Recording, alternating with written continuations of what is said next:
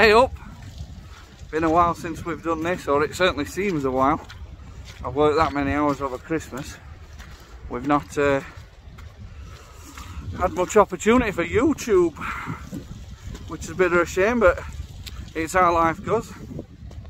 So I've just parked up at uh, Upper Burbage Bridge car park. Just trying to dodge these uh, these puddles. Apparently we're on a footpath here. It's more like a, a riverbed, a muddy riverbed if you ask me.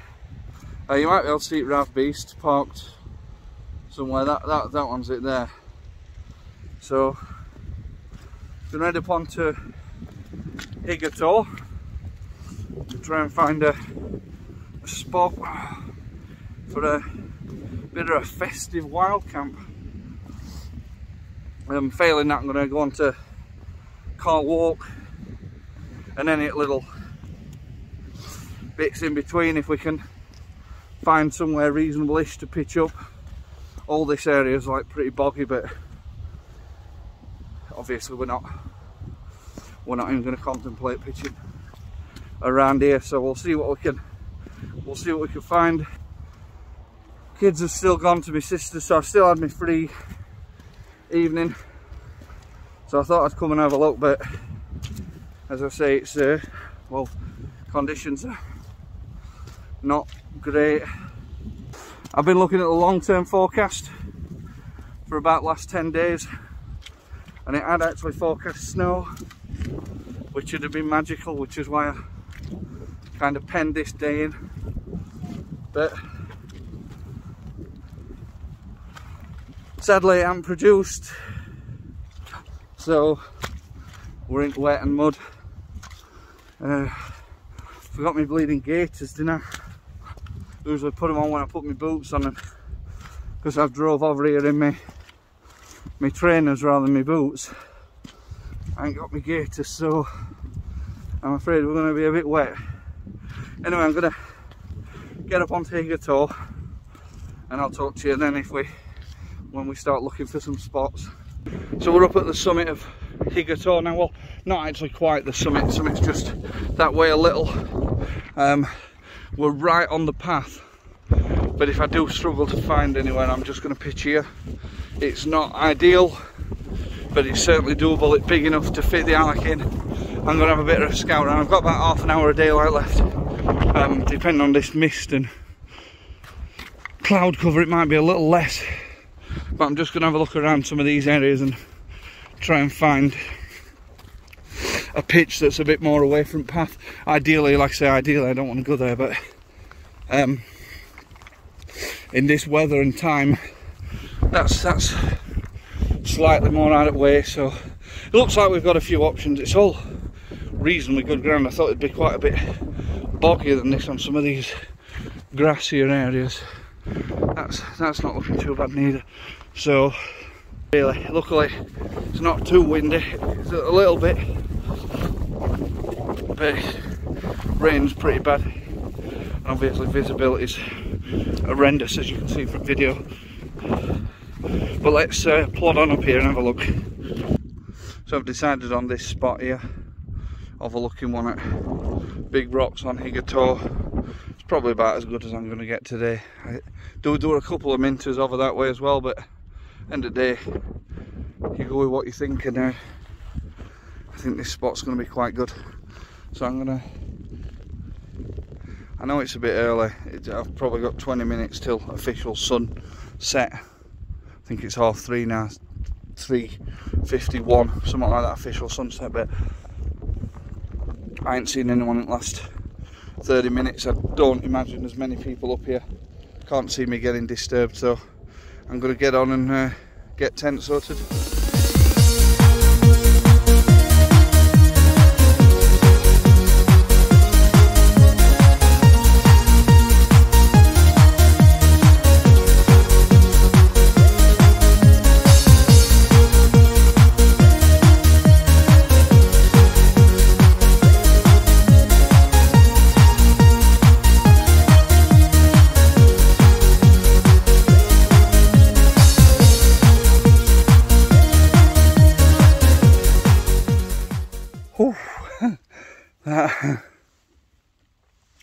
That was quite a difficult pitch that.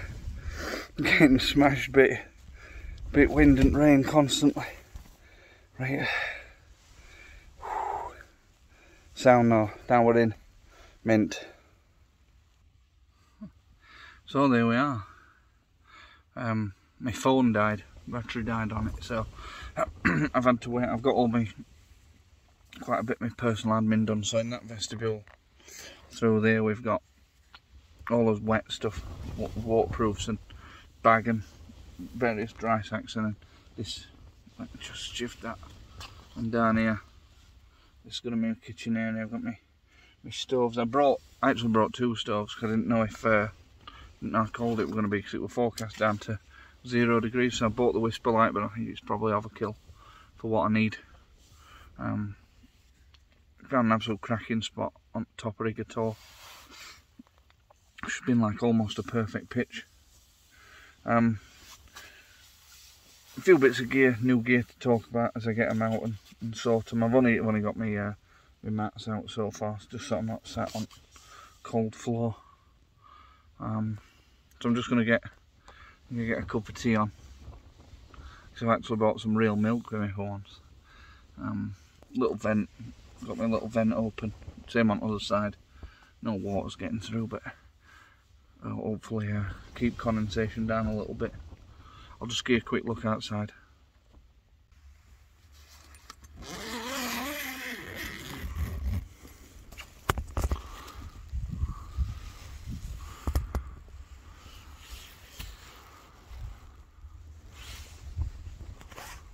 I've just watched that footage back and the uh, the S20 camera makes it look so light. I can assure you it's not. It really isn't. Um, but uh, it's going to get dark in it because we're, we're here for night. So I'm going to get uh, get a cup of tea made, get my sleeping tackle out, and uh, have a bit of a lay down and relax. I think. Just got my cu cup of tea on go. So I'll eat this real milk and all for once. Minter. So it's just it's just about getting pitch black outside. It's only about it's about five o'clock, I reckon. Oops, help. Yeah, so got to put a Disney Plus on my phone, so I'm gonna watch a, a Marvel film or something like that after I've had my cup of tea. Let's have a look what I've uh, I've not brought the most exotic of foods tonight. I've got a couple of um, boil in the bag ready meals. But what I have got is weeping Christmas. I've got a nut selection, fruit and nut nutty, and then got my own little selection box there, mate. A few roses and Ferrero Rochers and a Raiders and kids selection boxes. They yielded a double decker and a crunchy. Um, for me, I've not actually brought that much food for. Say I'm going to be in here about 14 hour. But um, I'd get some decent-ish kipping. Um, I'm going to put the lights on on the tent now and go out and take a few photos before it gets too uh, too wild out there. So I'm going to do that now while my cup of tea cools a little and then uh, I'll be back with you at some point.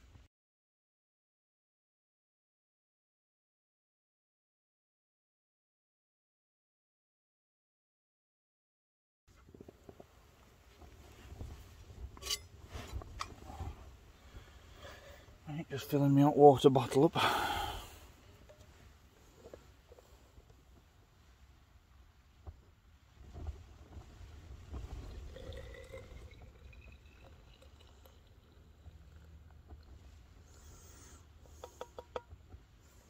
There we go. Snuggle up to this for a bit. And then just before I'm ready to go to bed I'll pop one into I'll pop it into me oh well I'll reboil the the water and I'll bob it into my sleeping bag. Got this little got this for a well like a mid Christmas gift of Beth needed it for well I said I wanted one for tonight so she bought it for me, bless her. And there we go, lovely. Lovely and snuggly. Get that in between legs. Mentor. Oh, so we're having a few nightmares if I'm honest with you. I spilled my cup of tea in tent. And look, quite quite luckily, the only thing that's got wet is my uh, my tent gloves. So the gloves that I wear in here. I have got my Alpkit Vulcan mitts that are insulated and waterproof and I didn't wear them on the way up. So I have got some if my hands get cold later. Um, so it's not end of world. Um, but it is a full cup of tea wasted, which is possibly a bigger disaster. First time I've used the the Exped Winter UL, and uh, I think it's deflating. Um, I blew it up, laid on it for a little bit, sat about on it, moved, you know, done a, a few bits of, of, jobs and whatnot, and it, it went like half empty. So I'm thinking it might just be that I didn't close the valve properly, but I could do without that failing. But I could, if I've not got the air mat, I think I'm going to go home. If it, if it doesn't stay inflated. Um, the car is well what I shall do is I shall walk down to the road and walk back up to Upper Burbage Bridge car park where the car is um, which is a bit of a kick in if I'm honest with you but I can't just keep on floor you know what I mean we, we aren't the air mat it's I'm it's not going to be comfortable I'm not going to sleep um, and what can you do about a gear fail? So anyway, I'm gonna I'm gonna see. It, it it does seem like it's inflated a bit more now. Um, we're gonna see. It, hopefully, I just didn't close valve. You know, I'm I'm not jumping to conclusions, but I've got all sorts of things going through me at a minute. I just I could do without bailing, but like I say, I can't, I can't skip on floor. It's only it, that mat is my only like real form of insulation from the floor as well. So if it fails, I'm done. So we'll just see anyway. I'm gonna I'm gonna cook some tea very shortly. So uh, even if even if I'm walking back, I'm gonna eat before I go. So well, bit toss but the, the air mat has definitely failed. The uh, it, it, will not stay inflated. I've got no insulation from the ground. I've got no to sleep on, so I'm going to pack up and I'm going to come home. Bit of a bugger, bit of a shame, but there's no point me like it's six o'clock. I'm in this tent for another 13 hour. I've got no proper insulation. Like I said, I think I've said it about eight times. I've got no proper insulation. I've got no comfortable to lay on. So I can't I can't do out, so I'm gonna pack up and uh, and head off home. Bit of a shame, but what can you do? So I'll uh, I'll talk to you soon. So I'm nearly packed up, but this is where the uh, the Lightwave Wildtrak 70 litre comes in because this massive cavern there's no, it's not what went in this pocket, what fitted here, what, what went there. Just ram everything in that massive bit and just crush it down, crush it down, zip top up and you're away. No worrying about packing up, just piled everything in. Just going to drop tent now and then I'm going to be off. As I say, bit gutted, but there's not I can do. Just got to get me my trousers on, my uh, my waterproof jacket, and then I'm going to be off. So I'll talk to you probably when I eat car. Right, I've got all this gear out, everything's packed. Just need to get this tent down now. As you can see, it rains pretty bad. Um, oh well, we'll get it done and get off. That's tent down. I've left no trace best I can. Well, not best I can, I've left no trace, there's nothing left behind. Just got to pick up my walking poles and then I'm motoring back down at car. I'll rendezvous with you when I get to car. Oh, isn't that a sight for sore eyes? Rav Beast. Yes, baby. Oh, right, I'll talk to you when I get in it because I don't actually know. I don't actually know where the keys are. But we'll sort it. What an adventure, eh? What a complete nightmare. What a bad haircut. Just everything's terrible tonight. If I'm honest with you, it's been quite fun. Not, I mean, 200 quid mat failed on its first outing. Bit of a nightmare. Would have liked to have stayed all night. Would it a good adventure though? Definitely. I think I, after this video, this is not the video I wanted it to be. I'll do an analysis video and see, uh, just analyse the, the fails. What can we, you know, what could people do about different things? Why why did I make the decisions I took? But for now, I'm going to get moving. Going to get on. Going to get into some dry clothes. I'm pretty. Everything's pretty wet. I didn't really take care of things properly. I just bailed. Um, so, thanks for watching. I hope you've kind of enjoyed it. Not exactly the best wild camping video you'll have ever seen, but um, I've had a bit of fun in a different way that I probably should have. But thanks for watching. See you next time.